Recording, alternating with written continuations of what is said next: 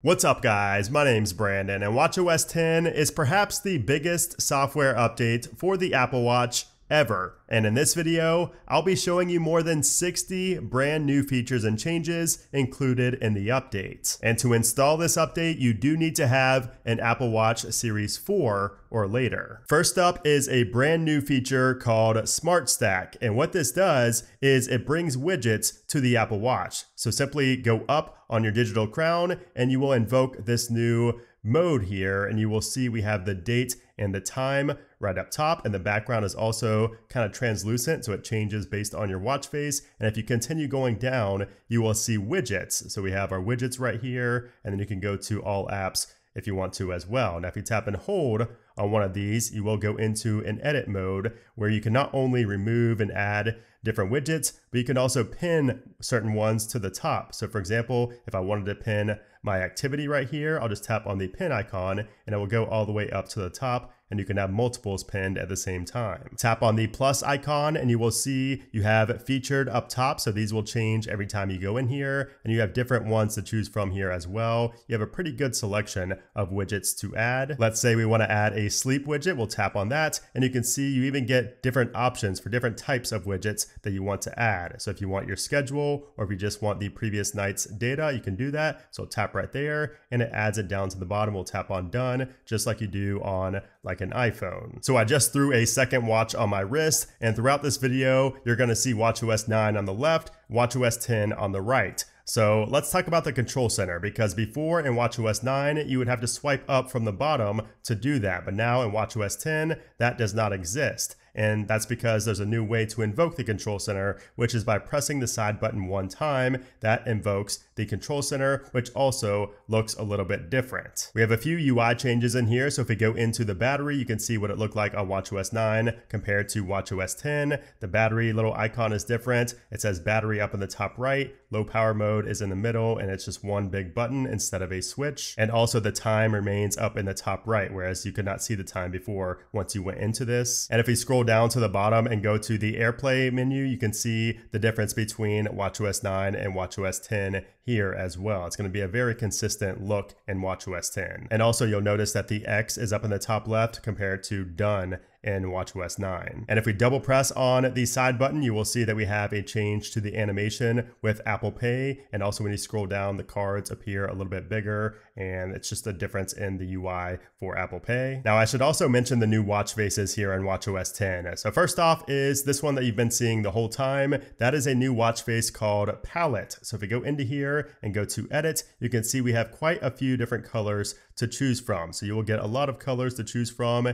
And what's cool about this one is that there's like different combinations of just one color, and then you have kind of multiple colors down here at the bottom. And if you go all the way down to the bottom, you can tap to add more colors and you can see kind of the different collections colors. So like spring, fall, summer, going back all the way to 2015. But I like this one, so we're gonna stick with that. And if you go over to the complications, you have four different places to add in your complications. And you can see there is also a new UI here when you go to add complications. It looks a lot better. And then the other new watch face is this one right here for Snoopy. So if you go into here, you can see we have Peanuts 1 all the way to Peanuts 3. You can see the different ones right there. You can also change the color. So change the color of the background of the watch. And this also animates as well. So if I do the Great Pumpkin, for example, and then go to this, you can see it does animate, which is pretty cool, pretty fun. Now, one thing I do want to mention is that you cannot switch through watch faces like you used to be able to. So in WatchOS 9, for example, if you wanted to switch over to a new watch face, all you would have to do is simply swipe over from the edge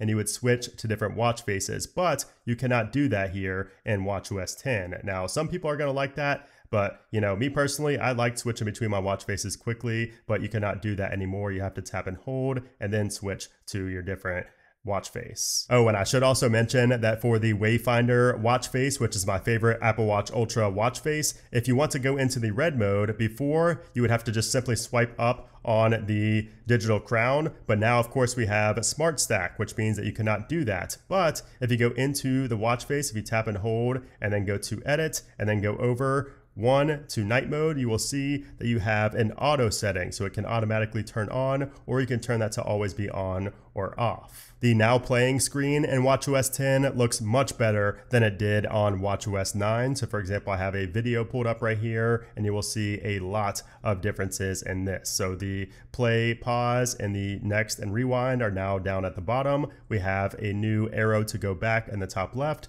and also we have in the top right, the device that it's playing from. And if you tap on that device, it will show you where that audio or video was playing. And if you press on the back button, you will notice a slight change to the now playing UI in this section as well. And if you look up in the top middle of the watch face now, you will see that we have our now playing icons for music and also for activity. And these are also clickable. So it's a small little thing to touch, but you can see you can tap on it and it does take you to whatever is showing up there for activity or music. Now, something I always do, and I don't really know why, but I take my heart rate a lot throughout the day, and that has changed in WatchOS 10. So if we go ahead and tap on a heart rate reading right here, you will notice that the animation and the whole UI looks completely different in WatchOS 10. So it looks kind of a lot more serious and a lot more advanced here in WatchOS 10. And also it shows our BPM down in the bottom left versus in this little card like it was in WatchOS 9. Just a vast difference between the two. And before in WatchOS 9, you had the resting heart rate and the walking average right there as well if you just went ahead and swiped down. But now in WatchOS 10, if you go down, you will see you have the range right here along with a resting rate walking average and you will notice how it kind of fades in between each page. So that animation is different as well compared to just having different cards right here. Another application that i use on a daily basis and i really don't know why is the noise application. And you will notice that the ui also looks significantly better here in watchOS 10 so we have more of like a meter versus these little you know dials right there and it shows okay with the check mark down here. Just looks a lot more clean a lot more modern than it did previously. WatchOS 10 also introduces optimized charge limit. So this is now available on the Apple Watch SE, Series 6, Series 7, and Series 8. So this is a little bit different than the previous optimized battery charging features that we've had in the past, and this feature is on by default when you install WatchOS 10. When you wake up in the morning after a sleep mode has been disabled, you will notice that we have the new good morning screen, which looks way better than WatchOS 9 in my opinion. And speaking of sleep, we have a new redesign in the sleep application. So you will notice that it looks a lot more clean and a lot better here in WatchOS 10 than it did in WatchOS 9. And again, we're sticking with that full screen design like we have in all applications, which I'll show you in a minute. And we also just go from page to page with a little fade animation compared to being on these cards. All right, so now it's finally time to check out the home screen of WatchOS 10. And you will notice pretty much right away that we do have a change here. So instead of having applications all over the place and being able to go, you know, left and right in this big honeycomb circle, now we have kind of a combination of a honeycomb and a list view. So you have three, four, three, four in the rows continuously. You cannot go side to side like you could previously. You can't zoom in and out on your applications like you used to be able to. This is just kind of a more organized, refined look to the home screen. Now, of course, you can still change the order of applications and everything. If you tap and hold on those, you will see the little X's and you can move these around to wherever you would like. And as I briefly mentioned a moment ago, pretty much every application, every stock application on WatchOS has been redesigned with WatchOS 10. So for example, if I go into the activity application here, you will notice that it just takes up more of the screen, just looks more modern, and we have these little buttons in the corners here as well. So like up in the top left, we have this button for our weekend or our weekly summary. If we tap in the bottom left, you can see this is where we have have our sharing, and in the bottom right is where we have our different awards that we have. And on WatchOS 9, all you had was just this right here, and you just keep scrolling down and you'd see all your information, and you had to tap into weekly summary or change goals at the very bottom. But now in WatchOS 10, we have those buttons, but we also can scroll down and you will see a much more immersive view for pretty much everything. So we have move right here, we have exercise. You can see they are color coordinated as well. We have stand, and then we have today's view, a quick view of today's stats. And then out down at the bottom, we have activities if you've recorded those. And check out the activity ring up in the top left, by the way, when we go throughout this. You will see it kind of highlights what you're looking at on the circle there. Just the small details in WatchOS 10 are just amazing. I mean, look at the little animation there as well when we go back up the animation in those little lines there. I don't really use the weather application a lot, but I have to really respect the big redesign in WatchOS 10 for the weather application. So in WatchOS 9, you can see this is how it looked when we had a little list view right here, which first off, you saw that new animation. But if we go into the weather, take a look at that difference. I mean, that is a massive difference from WatchOS 9 to WatchOS 10. This almost looks like an iPhone screen over here. So it looks so awesome. You can see all of your data right there. Again, you have your different buttons. So like up in the top left, we have the menu, and then up in the top right, we have what you want to view. So condition, temperature, precipitation, wind. You have all that to choose from. And if we go ahead and go back and then swipe down, you have this view, which also looks much better than it did previously. It was just kind of this circle, but now looks a lot more modern and better. And if we go down again, we have our week view here. So you can see upcoming weather. And just look at the difference between the two. I mean, it is night and day better. I don't think anybody can argue that. The messages application also gets a really nice update. So you will see your pinned contacts right here in their own separate page for easy access to text those people. And then if you go down, you will see this is where you have your list view of your different text conversations. In the podcast application, again, the text is centered along with the time, whereas before that was on the left and the right. We have a now playing button up in the top right for easy access to that that. And if we go to, let's just go to listen now, for example, if we go to our listen now page, you will notice again, it takes up pretty much the entire screen. And there's not a huge difference between these watch faces. I mean, 45 and 49 millimeters, but you would think it's a much bigger difference with how good the screen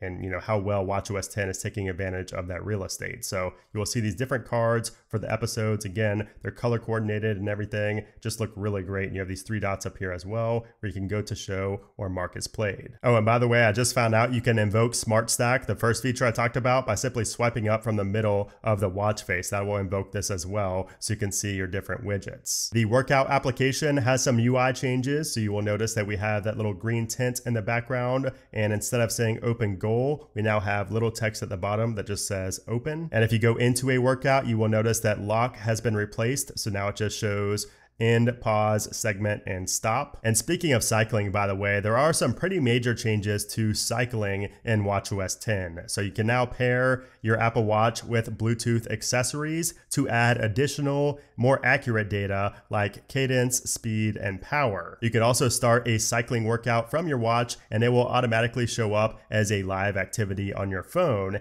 And when you tap on it, it takes over the entire display so you can see everything on your iPhone as well. There's also a new Power Zones workout view. Heading into the home application, there is a major UI redesign here, and this really kind of mimics what the iPhone's home application looks like. It looks so much better than it did previously. You can see there wasn't really an issue with it in WatchOS 9, but it just looks so much more modern and so much more familiar here in WatchOS 10. You also have the intercom up top and you have the little favorite icons down at the bottom, whereas before it's kind of janky in there and just did not look as good. The timers application has even been redesigned, so you will see that we have this different look for the timers app now in WatchOS 10. And if we started a timer, let's just say for one minute, for example, I did one hour, you can see the difference in how this looks as well. And just like on iOS 17, we have this plus in the top right where we can add an additional timer. So you can have multiple timers going at once, whereas before you were limited to just one timer. Heading into news, we now get a full screen view of the image for that article in the background, and we don't have the top stories up in the top left anymore, which just did not look good. So you can kind of scroll down,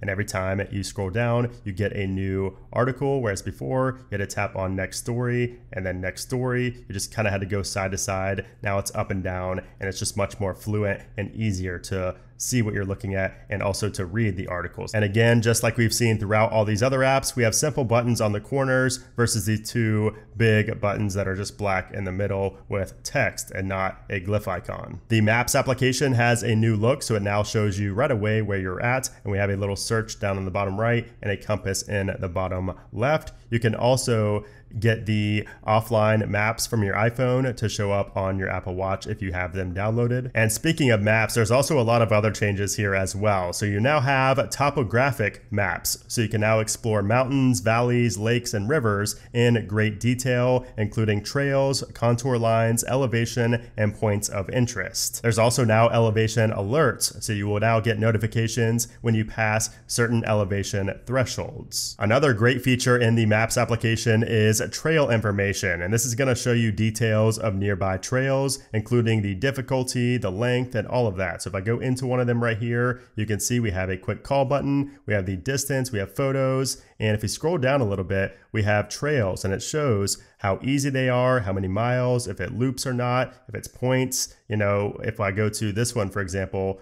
if I go ahead and click on this, it will show the difficulty. It says it's difficult. It says it's a point to point trail. It shows the elevation gain, the duration it's going to take, all of that right here from your Apple Watch. And in the Compass application, you now get a 3D view, and you'll also notice some UI changes here as well. So you can see that the 46 feet is down there at the bottom middle. We also have that eye up in the top left-hand corner. In the clock application, we have a pretty big difference here from WatchOS 9 to WatchOS 10. So instead of just having a view of the different times, we now have a visual for the times, including the sunrise and sunset times down in the bottom right. We have a list view here if you wanted to go to a different city or state or country and you can see they are color coordinated as well whereas before they were kind of just all boring right there and you didn't really have a view or animation like this. And we do have a visual here as well where we can use the crown to go and see, you know, what it's going to look like at that time during the day in your select location. In the contacts application, you can now see the photo of the person if you have one set and their name is up in the top right and the contact buttons for texting and calling are now in the bottom left-hand corner. And that new name drop feature will also work for the Apple Watch as well. So if you tap Apple Watches together, it's going to exchange contact information just like you can on the iPhone with iOS 17. There's also new workout APIs that are going to allow developers to create new experiences for sports like golf and tennis